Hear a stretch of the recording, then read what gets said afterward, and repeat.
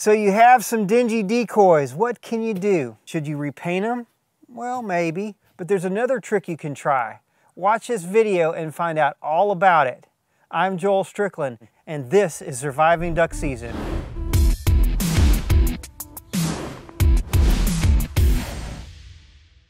This video is brought to you by Mojo and High and Dry Waders. Hey everybody, it's a great day today. Thanks for watching this video. Now I've got a bunch of decoys laying around here. Uh, these are all kind of dingy looking. Uh, you can see this one here, it just doesn't have the luster that it once had.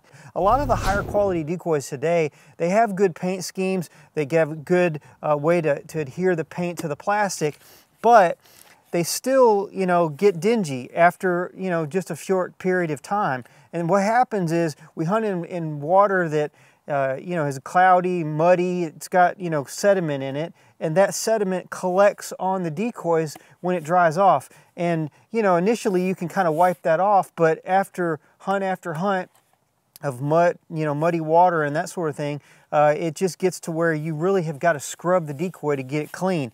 Uh, plus the fact that, you know, going in and out of the decoy bags, you know, in and out of your boat, just the wear and tear, you know, sitting in the sun, that sort of thing, kind of take that luster off the decoys. All these decoys that I have here don't necessarily need to be repainted. Um, you know, most of them have only been used for one season. They just get dingy and, and dull looking. Uh, they've kind of lost their luster. And so um, rather than repainting them this year, what I'm going to do is I'm going to try something new. I've got something right here. Uh, this is a can of decoy conditioner. Now, they have not put me up to doing this video. I saw an ad for it and thought, hmm, that's interesting. Uh, I want to see what this is all about. So I, uh, I got online and, and found uh, Scheels has it for 25 bucks plus shipping. I think I paid about $30 in total. So it better be pretty good. I also went to Walmart and bought a can of this Krylon matte finish for six bucks. Seen several people talking about using it. And then I also went to Hobby Lobby and got a can of this Rust-Oleum Top Coat Dead Flat, nine bucks. So I'm gonna do a comparison between all three products on this video and see which one we like best. Okay, so before we get into the comparison, we need to get these decoys cleaned up. And honestly, sometimes that's all it really takes to make your decoys look better is just clean them up. Now make sure you stick around to the end of the video because I got a really cool piece of footage. It's like 20 years old. You won't want to miss it. So we've got the decoys cleaned up and now they've dried out and now we're ready to try out our three different products. Uh, what I did was I've grabbed three hens to start the initial comparison because they all look basically the same. They're in the same condition. One of them is a, is a teal and the other two are, are hen mallards. And so what I'm gonna do is I'm gonna spray each of the three products on, on you know, each decoy and then we'll kind of be able to, to uh, give it a comparison to see what we think looks better. So we're gonna shake these products up really, really good. So the first thing I'm using is a decoy conditioner on this hen right here.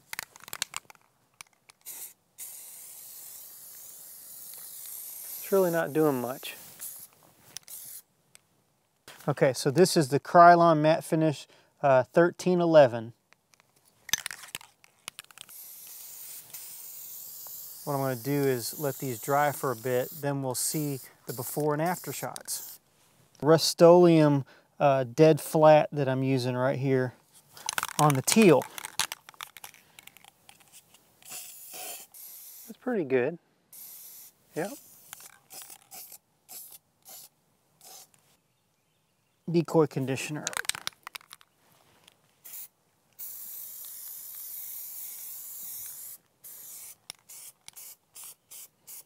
I can tell the difference on that one.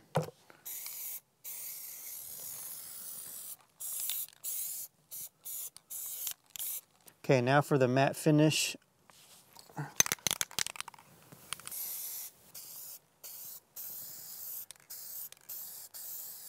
And this is the dead flat Rust-Oleum.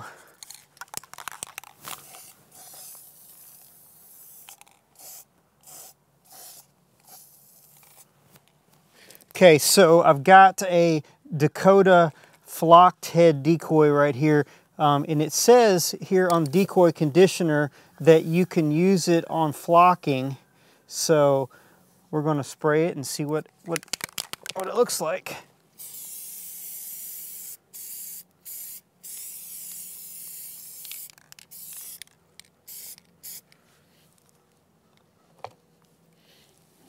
turn that a little bit so you can see.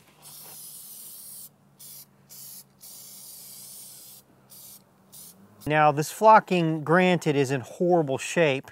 It needs to be reflocked probably, but I was kind of hoping that maybe by spraying that stuff on there, it'd make it look better. This is a GHG um, Greenhead Gear hot buy. It probably needed repainting, but it, it's definitely dingy looking. You see how horrible that looks. We're to go ahead and spray the, uh, the top coat from Rust-Oleum, the dead flat, and see if it makes any improvements on it. I'm really not seeing a very big difference in these dingy decoys. Maybe I'll see a better difference on some of my really weathered decoys.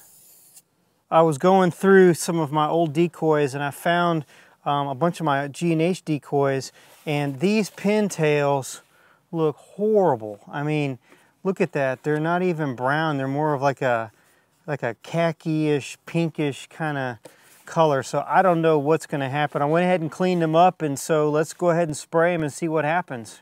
This first pintail we're going to do with decoy conditioner.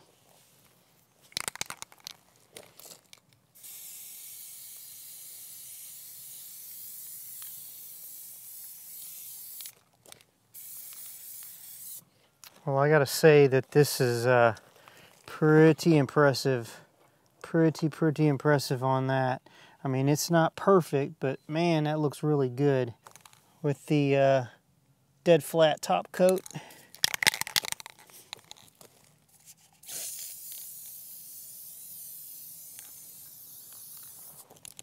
This one looks really, really good too. I mean, that's pretty awesome. It's got a little bit right there that it maybe, uh, maybe needs another coat or two. It's looking good. We'll see when it dries. I'm going to do this last pintail with the matte finish. Let's see what happens up here especially.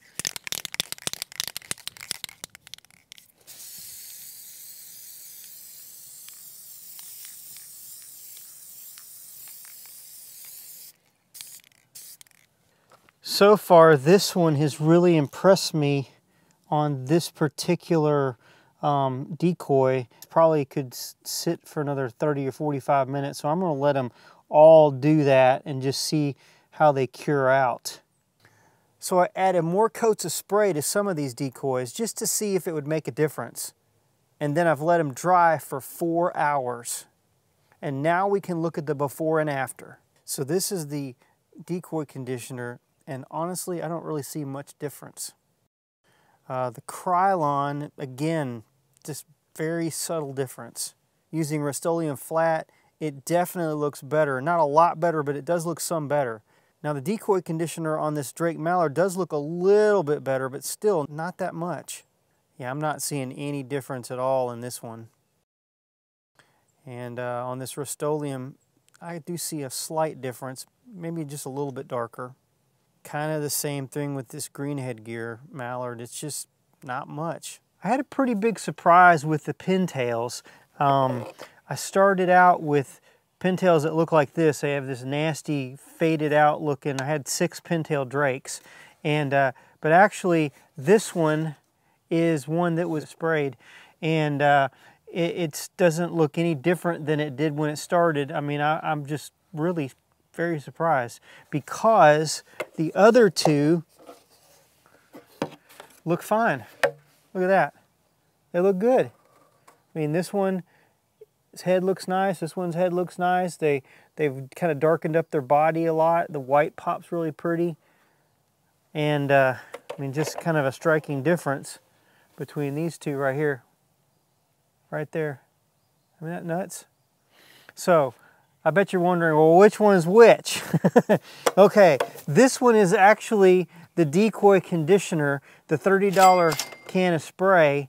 Um, I was really surprised because looking at the other uh, decoys, that we use it on, I thought that it was not the best, but I thought it was the second best.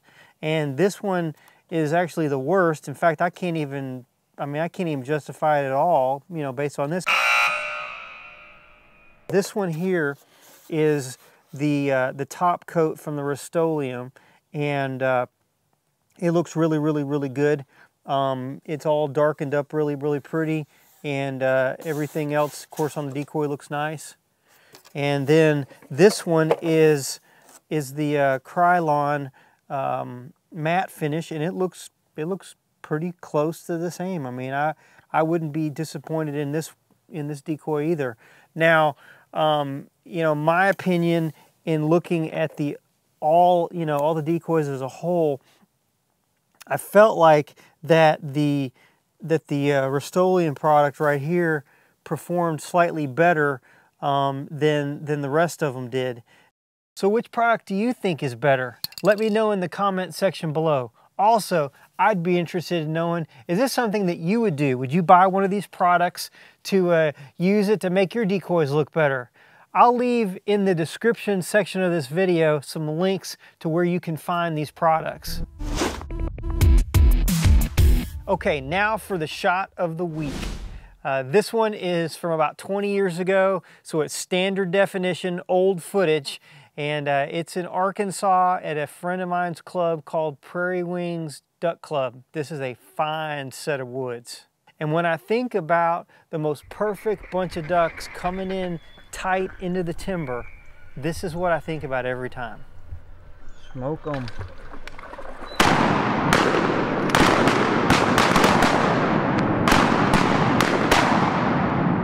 Woo! That was it, y'all. That, that entire was hunt was awesome. Uh, I've got dozens and dozens of uh, those kind of hunts from back in the day, as they say.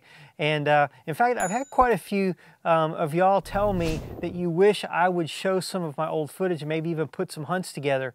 331 slash says, please, please edit more of your old footage and put them up as full hunts. And Chasing Green says, would love to see any old vintage hunts you could put together. That stuff is rare to see. Well, what do you think? Is that something you'd like to see? Let me know in the comment section below. I've been thinking about maybe pulling out the uh, old archives and putting together some hunts. And speaking of old hunts, here's one right here. Check it out. It's the first time I ever used a spinning wing decoy back in the 90s. I talk all about it. It's a pretty cool hunt. And if you want to see some more tips and tactics, check out those videos right there. Until next time, I'm Joel Strickland. Good hunting and God bless.